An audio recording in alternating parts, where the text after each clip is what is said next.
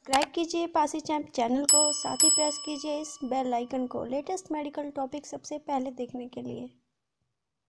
Periods के खुल के ना आने के कौन कौन से कारण होते हैं? मतलब अगर आपके पीरियड्स आ रहे हैं और आपको सामान्य से कम ब्लीडिंग हो रही है, खुलकर नहीं आ रहे हैं तो उसके कौन कौन से कॉजेज़ होते हैं कौन कौन से कारण होते हैं? साथ ही उस समय आप कौन कौन सी मेडिसिन को यूज़ कर सकते हो? यही इस वीडियो में अच्छे से डिस्कस करेंगे। तो वेलकम बैक गाइज़ टू पासी चैम चैनल और बिना किसी डिले के आज की ये वीडियो फटाफट शुरू करते हैं।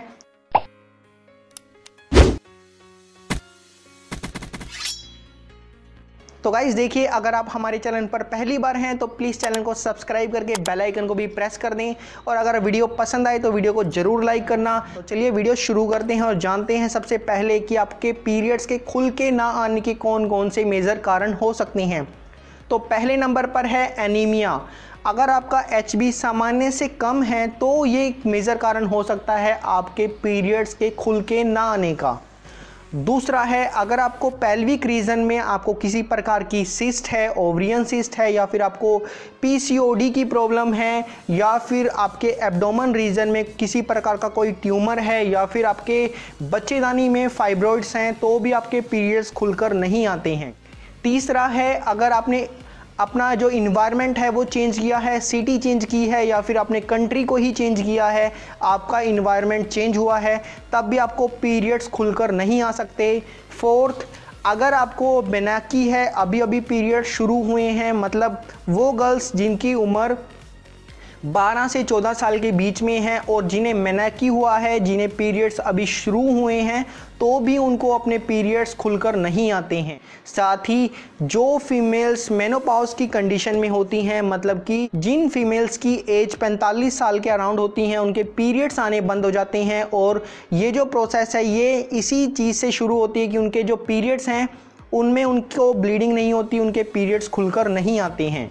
अगला है कि अगर आप एक अच्छी डाइट को नहीं ले रहे हो माल न्यूट्रिशन डाइट है आपकी प्रॉपर एक अच्छी न्यूट्रिशनल डाइट अगर आप नहीं ले रहे हो तो भी आपके जो पीरियड्स हैं वो खुलकर नहीं आते हैं। अगला है, अगर आपकी डिलीवरी हुई है या फिर अबॉर्शन हुआ है, तब भी आपको आपके पीरियड्स खुलकर नहीं आते हैं। अगला है, अगर आपका जो बॉडी वेट है वो सामान्य से बहुत कम है या फिर आपका जो बॉडी वेट है वो सडनली गेन हुआ है, बड़ा है तो भी आपको पीरियड्स खुलकर नहीं आते हैं। अगर आपने रिसेंटली कोई मेडिसिन यूज़ की है या फिर आप लंबे समय से बीमार चले हो तो भी आपको पीरियड्स खुलकर नहीं आते हैं। कि अगर आप हद से ज़्यादा एक्सरसाइज करते हो वर्कआउट करते हो तो भी आपके पीरियड्स खुलकर नहीं आते हैं। और अगला है गाइस कि अगर आपके हार्मोन्स फ्लैक्चुएट होते हैं, ख़ास तौर पर आपका जो थायराइड जो ग्लैंड है, वो प्रॉपरली फ़ंक्शन नहीं करता है तो भी आपको पीरियड्स खुलकर नहीं आते हैं।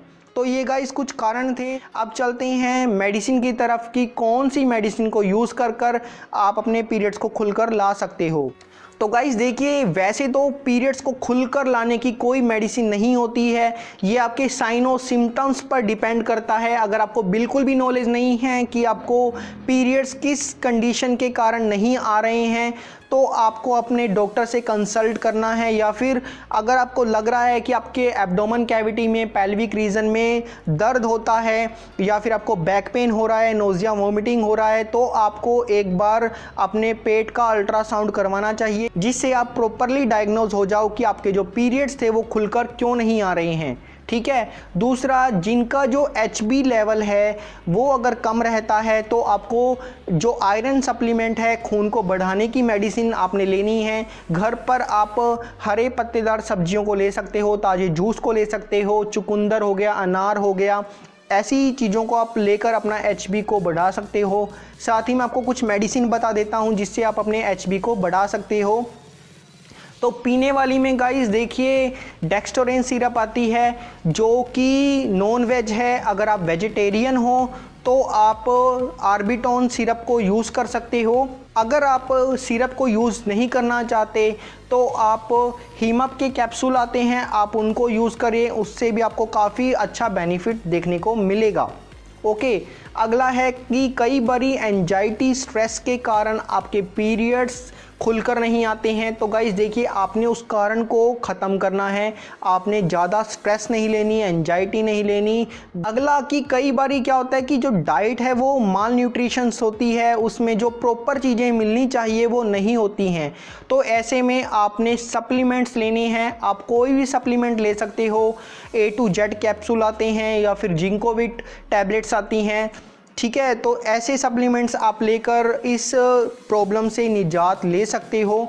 अगर आप हद से ज़्यादा एक्सरसाइज कर रहे हो तो देखिए आपको एक्सरसाइज कम करनी है। अगर आपका वेट ज़्यादा हुआ है तो आपने वेट कम करना है। अगर आपका वेट लॉस हुआ है तो आपने अच्छी डाइट को लेनी है, ताकि आपका जो वेट है, वो प्रॉपरली नॉर्मल रेंज में आ सके। अगर आपको ये प्रॉब्लम हार्मोनल है हार्मोन्स के कारण है तो गाइज़ देखिए, उसके लिए आपको प्रॉपर हिस्ट्री की ज़रूरत होती है और उसके लिए आपको अपने गायनी डॉक्टर से मिलना पड़ेगा। ठीक है? काफ़ी सारी होम रेमेडीज़ भी है अपने पीरियड्स को खुलकर लाने के लिए, लेकिन गाइज़ देखिए, पहले तो आपको अपने साइनो सिम्टम्स के तरफ़ बढ़ना है कि पीरियड्स खुल के ना आने के कौन से कारण हैं।